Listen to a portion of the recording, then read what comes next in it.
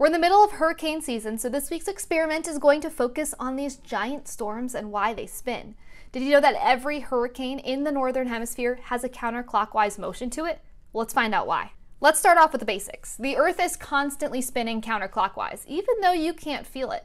People in places along the equator are actually spinning faster than those closer to the North or South Pole.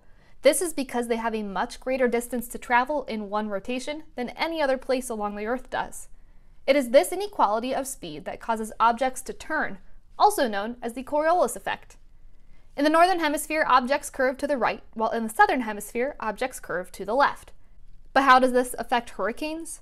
Well, hurricanes are areas of low pressure. As we know, air always wants to move from high to low pressure, so it therefore gets pulled toward the low.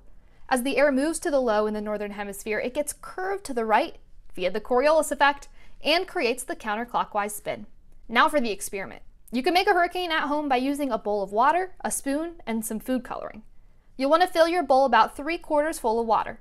Then take your spoon and spin the water around the bowl in a counterclockwise motion for a few seconds. Next, drop some food coloring into the center of the bowl and watch how it expands. It spins counterclockwise with the flow of the low pressure system. You might even see an eye start to form in the middle. Outer rain bands will start to form as well, and you'll notice they're going to spin faster than the water closest to the center will. Let me know if you're able to make one of these hurricanes at home, or if you have an idea for an experiment you would love to see me try and do. For News 19, I'm Danielle Miller.